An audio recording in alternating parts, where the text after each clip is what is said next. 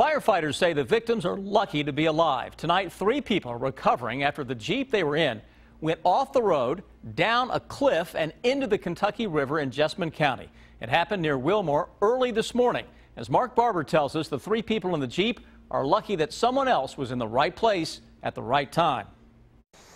When the Jeep ran off the road, firefighters say it plunged down a 75-foot cliff, landing in the Kentucky River. First responders tell me that there were three people in the vehicle. One of them was knocked unconscious. The Jeep went over the cliff near Lock 7 Road, south of Wilmore, around 1.30 this morning. Firefighters tell us the driver, a woman, was knocked unconscious when the vehicle hit the water. Crews say two men were also in the Jeep, and one of them grabbed her and swam to the riverbank.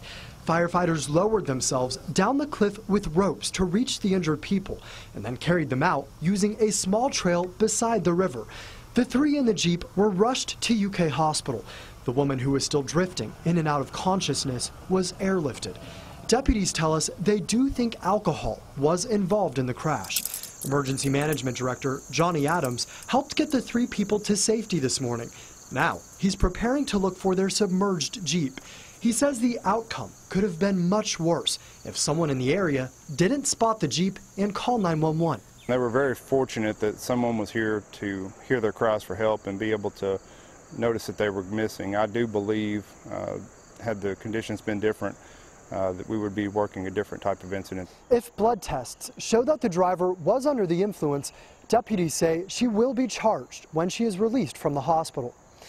In Jessamine County, Mark Barber, WKYT.